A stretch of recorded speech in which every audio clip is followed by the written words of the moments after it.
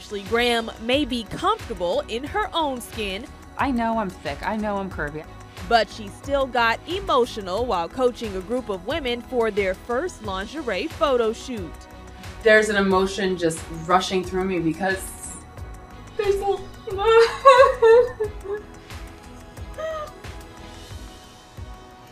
Sorry. Things are changing. People are really just accepting curves. The body confident supermodel teamed up with Glamour to direct a fun, upbeat photo shoot with four ladies from all shapes and sizes. Let's see Rogue. Okay. Okay. Go. While reviewing the photos, the women opened up to Ashley about their insecurities. One shared her battle with skin issues, and another confessed she struggled with an eating disorder. Ashley broke down into tears after seeing how great the images turned out.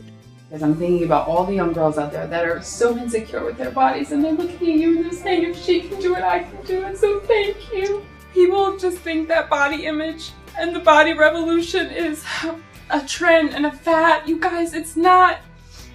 It goes from big girls to little girls. It goes from Spanish girls to black girls. It goes from white girls to young girls. It's it's everybody in between. And if we keep having this conversation, if we keep talking about the things that society has said are ugly or the things that we don't see in media, that is what is going to change.